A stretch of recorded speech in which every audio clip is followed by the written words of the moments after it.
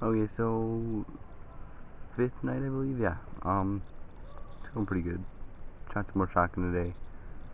Um, played some horse, so yeah, pretty fun. Um, but yeah, still really miss you, babe. Love you. Good night.